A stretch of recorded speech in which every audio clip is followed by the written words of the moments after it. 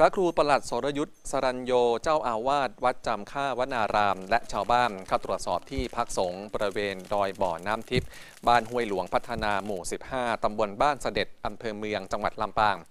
หลังไฟป่าลามเข้าไหม้พื้นที่โดยรอบสิ่งปลูกสร้าง แล้วก็ข้าวของเครื่องใช้เสียหายแทบทั้งหมด ระครูประหลัดสรยุทธ์เล่าว่าเมื่อ 30 ปีก่อนเดินทางทุดงมาพบสถานที่แห่งนี้ครับแล้วก็มาปักรถนั่งสมาธิ ด้านบนเนี่ยจะมีบ่อน้ำที่ไม่เคยแห้งเลยชาวบ้านก็เลยเรียกกันว่าบ่อน้ำทิพย์และใช้น้ำจากบ่อนี้ไปใช้ประโยชน์ ก่อนที่ 10 ปีหลังมานี้ชาวบ้านเข้ามาใช้พื้นที่สำหรับปฏิบัติธรรม มีการก่อสร้างที่พักสงฆ์ซึ่งก็ไม่เคยเกิดไฟป่ามาก่อนนะครับ กระทั่งคืนวันที่ 7 กุมภาพันธ์เกิดไฟป่าในละแวกใกล้เคียง และก็ลามเข้ามาไหม้พื้นที่ภายในที่พักสงฆ์โดยคาดว่าสาเหตุอาจจะเป็นเพราะว่ากลุ่มหาของป่า ที่ผ่านมานี่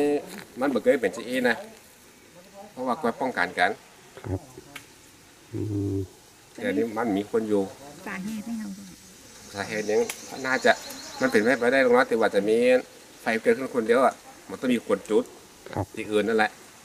แล้วก็ลามเข้ามาลามเข้ามา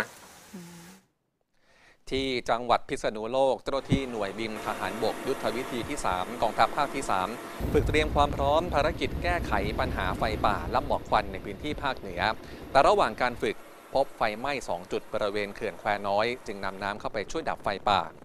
ทางนี้กองทัพภาคที่ 3 จะนำเครื่องเฮลิคอปเตอร์ MI-17 เพื่อปฏิบัติการดับไฟป่าไปประจำไว้2พื้นที่ คือที่จังหวัดพิษณุโลก รับผิดชอบพื้นที่ภาคเหนือตอนล่าง และจังหวัดเชียงใหม่ รับผิดชอบพื้นที่ภาคเหนือตอนบนครับ